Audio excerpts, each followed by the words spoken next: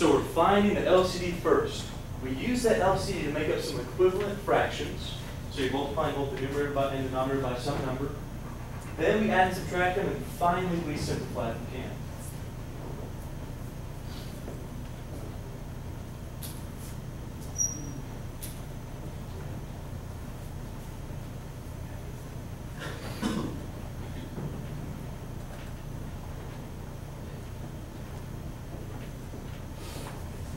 Simplify it? If you can, yeah. Perfect. I'll simplify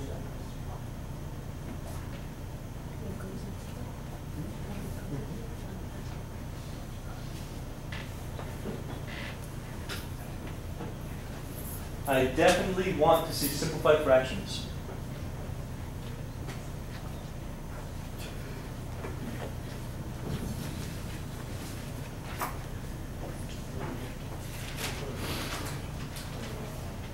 Why? Two x over five? Okay, we're back to start on the first one up here. So first example, we have 2 sevenths plus 8 over 21. We're going to start with the biggest denominator. We look at that thing, biggest denominator was 21. We checked, does 7 go into 21? Yeah. Yeah. Oh, great, that's automatically our LCD right there. So I write LCD is 21. What that means is that my new denominator should be 21 and nothing else. I have 21 already. I don't need to multiply this side. I need 21 over here. What do I need to multiply by to get 21? Three. Okay. If you multiply the denominator, you also have to multiply the numerator. So my fraction becomes 6 over 21 plus 8 over 21. And lastly, we're going to write this as one fraction because we know we have a common denominator.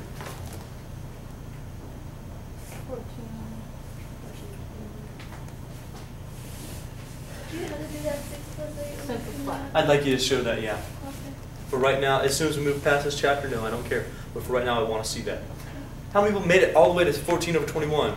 Good. Did you make it past there? Yeah. Good. Why? Because it's simplified. What simplifies out of that? Two thirds.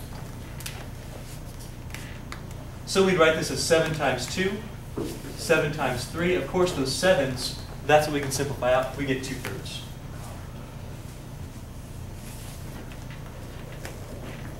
Awesome. All right. Next up.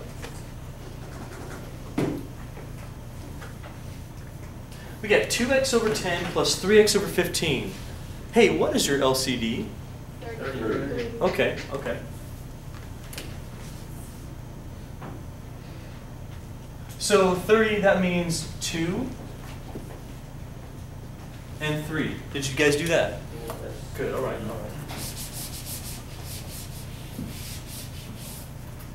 So I'm, I'm guessing you did uh, 6x over 30 plus 6x over 30. Yeah? Yes. Okay. Cool. So that's 6x plus 6x over 30, or we get 12x over 30. Can you simplify that? Yeah. Yeah. Sure. What goes into that? Three. Six. Bigger. Take the biggest one you can find. Six. 6 goes into that. Sure, 6 goes into 12 and 6 goes into 30. If you did 3, fine. If you did 2, fine. But you're going to have to do it again. Do you see that? You have to make, you can't just do one round and assume you're done. Double check it. Make sure you've gone all the way you can, that nothing else divides those numbers. Yeah, 6 for sure divides. So we'd write this as 6 times 2x. We'd write this as 6 times 5. The 6's are gone because we're making a 1 out of that. That's how we simplify. And we get 2x over 5. How many people got that one? Oh, good for you. Can I show you something on this problem? Why don't you see something? When you're adding and subtracting fractions, there's nothing that says you can't simplify first. Okay, now of course we wouldn't want to simplify here because we purposely unsimplified, but check this out. If I start with my 2x over 10 plus 3x over 15, do you guys see that I could simplify this one immediately? Mm-hmm. That's actually x over 5. Do you see it? Yeah. Divide both the top and bottom by, by 2, you get x over 5. And three. This is this actually you can simplify. Three goes into that. Yep. That's x over five. Do you see that? Yes, no. If you don't, shake your head. That's fine. Yes or no? Okay. So in our case up here, we do. Remember that 2x, we could write 2 times x. 10 would be 2 times 5, yeah? Yes. This would be 3 times x, this would be 3 times 5. Every time you have matching factors, they're gone. x over 5 plus, oh, wait a second. What's, how about that? x over 5 or x, do we already have a common denominator? This would be, I'm going to erase this so I don't get confused here. This would be x plus x over 5. Numerators being added, denominator just stays the same. How much is x plus x? Two X. Did you get the same answer? Yes. Sure. There's nothing that says you can't simplify first. So if you want to save yourself some time at some points, try simplifying first. That's okay. You can do that. Okay? 2x and x squared are not the same thing. x squared means x times x, 2x means x plus x. Good question. Do you guys see the, the difference between these problems? I hope so.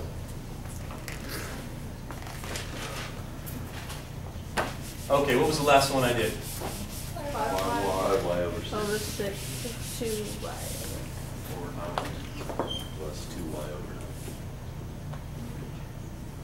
Nine. I got.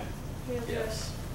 Let's find an LCD. We'll start with the biggest denominator, that's 9. 6 doesn't go into 9. We check 18. Does 6 go into 18? Yeah. 18s are LCD. We've got to multiply both these fractions, so on the right-hand side, tell me what I multiply by, please. Two.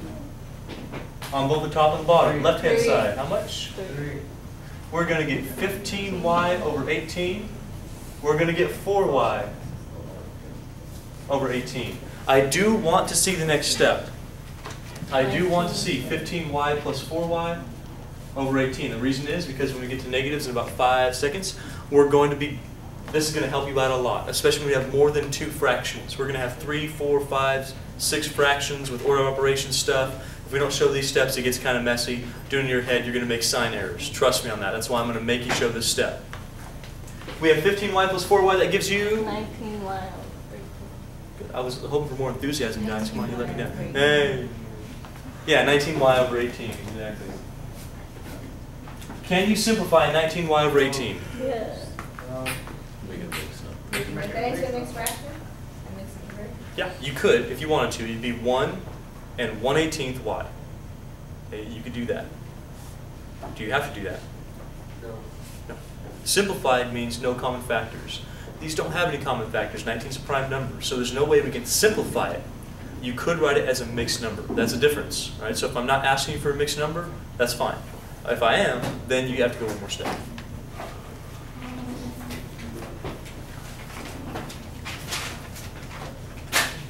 How many people feel pretty good about finding LCD so far?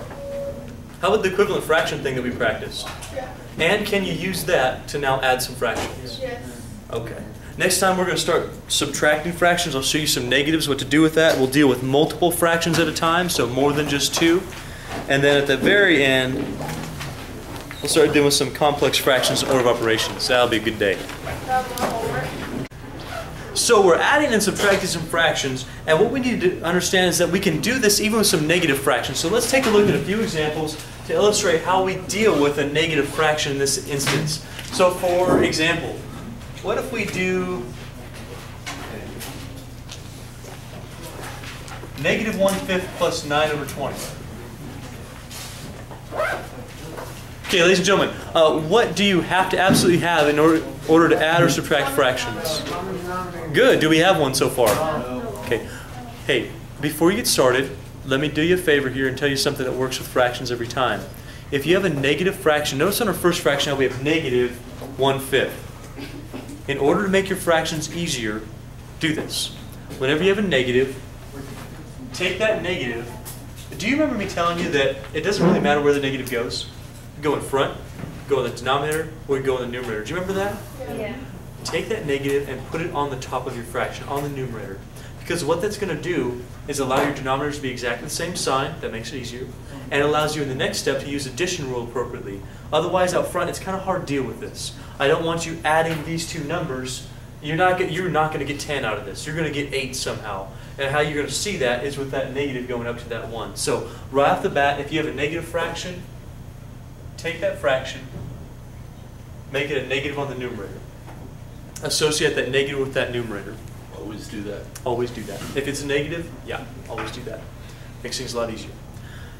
Now, next up, we got to find an LCD. Can you tell me what's the LCD for this problem? Twenty. Good, yeah, very good. We'd find the biggest denominator. We'd check to see if the other one goes into it. It does. So we'll write LCD is 20. Okay, folks, what do I need to multiply this fraction by right here? Four. This one. Five. By one, no. By anything? By one, by one. Oh, no, no. If I multiply by 1, am I going to change it? No. So do I need to multiply by anything? No. Okay, no problem. Sometimes that happens. How about the one on the left-hand side? Notice, hey, this is why we did this. It's why we moved the negative to the top. Now I'm able to multiply by just a couple numbers, and I just have that negative on the top. That's kind of nice. It helps out a lot.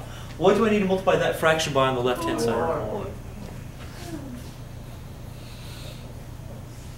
Now that that negative's on the numerator, we can do 4 times negative 1 and get how much? Negative Four.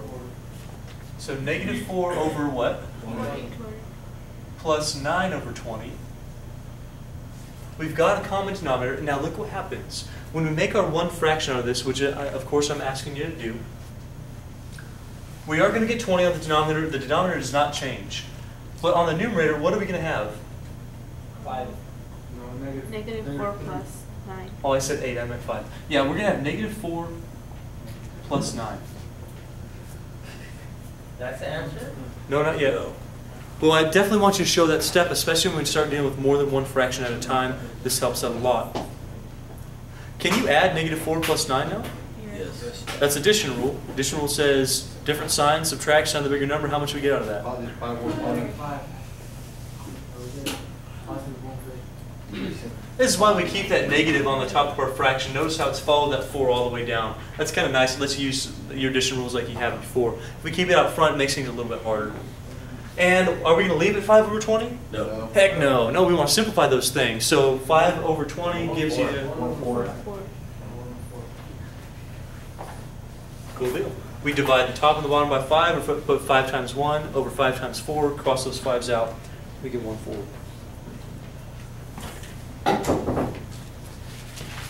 We're going to do two more together. I'll give you a couple to do on your own, then we'll move on.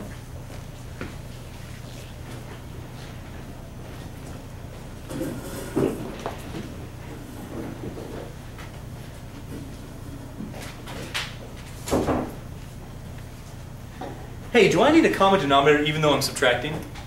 Yes. Yeah, absolutely. Can you go ahead, don't say it out loud, just do it in your head. On your own, find your LCD here, on your own.